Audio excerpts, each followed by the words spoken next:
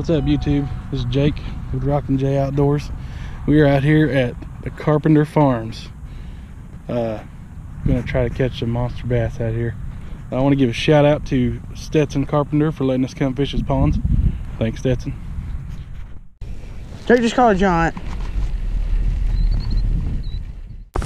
Jake just caught a giant. You fishing a jig, I'm fishing chatterbait.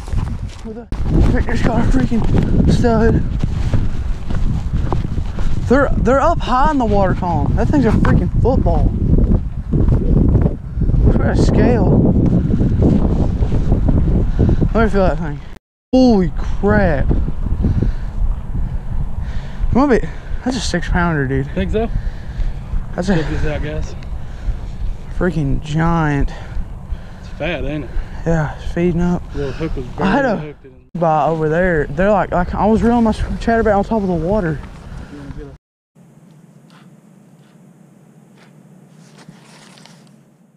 Guys.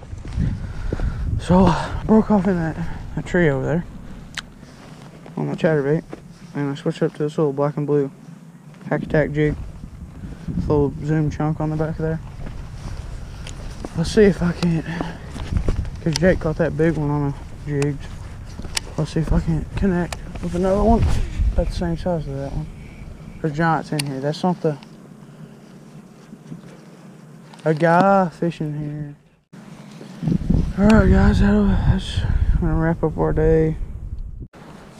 We'll see you guys back at the house.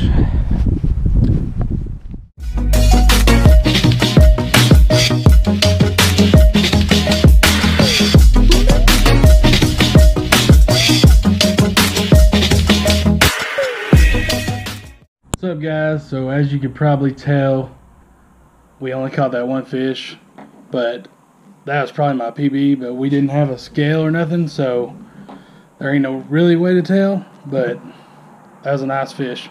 Other than that though, we was pretty much skunked the rest of the time, but it's always a good time up there at Carpenter Farms. Want to give a shout out to Zach. Thanks for letting us come up there and fish, and Stetson. Till next time, catching bass and kicking. Whoa,